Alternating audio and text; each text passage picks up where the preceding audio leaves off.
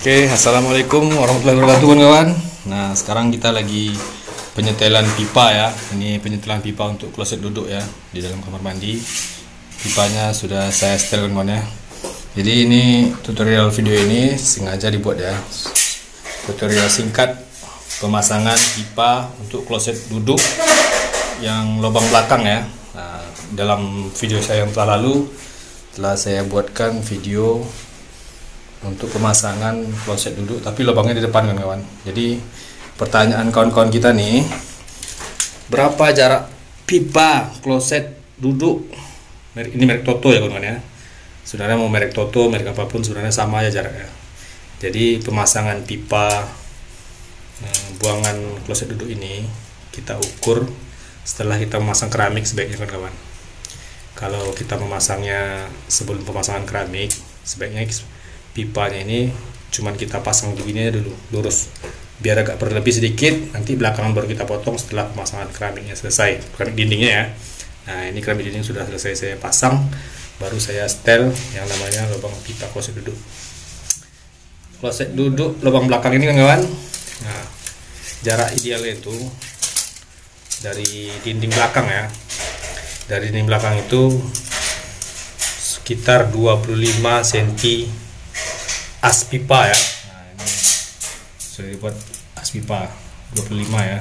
Tengah-tengah lubang pipa ini 25 dari dinding belakang ini ya. Nah, dari dinding belakang 25 ini saya bikin 26 kawan-kawan karena takut nanti pemasangan keramik ini kita kadang kurang lot. Jadi kita beri space sedikit jadi tidak terlalu nyandar di belakang nanti tabung klosetnya ya. Kita beri space setengah senti atau satu senti ya kalau nanti udah terpasang ada renggang sedikit kita akan tinggal ganjal lagi sedikit kan nanti bisa tempel lagi sedikit. Dan ini adalah untuk keran tabungnya ya untuk pengisian tabungnya.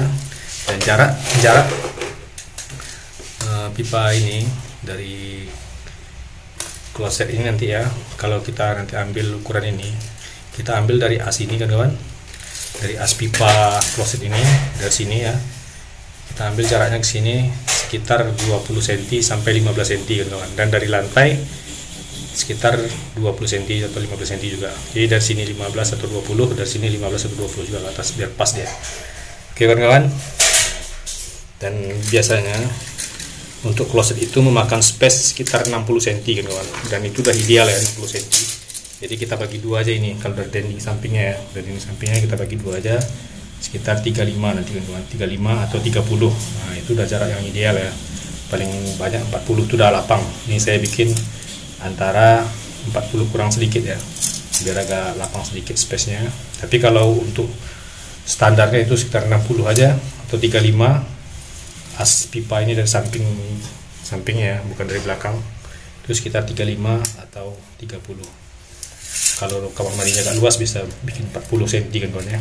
Yang jelas dari belakang dari ini belakang itu sekitar hmm, 25 as lubang pipa ya. Dan jarak ini telah saya jelaskan tadi. Oke kawan-kawan. Mungkin keterangan yang saya bikin tadi sudah cukup untuk menjawab ya pertanyaan-pertanyaan kawan-kawan yang menanyakan jarak pipa ini. Ini untuk lubang belakang ya. Kalau lubang belakang jaraknya sekitar 25 as atau kita bikin lebih sedikit ya. Kalau untuk jarak lubang depan itu sekitar 45 atau 50 tapi saya bikin biasanya 50 karena peraturan dari kuasa sendiri menyuruh kita untuk membuat jarak sekitar 50 cm kan kawan oke kan kawan semoga bermanfaat ya. Assalamualaikum warahmatullahi wabarakatuh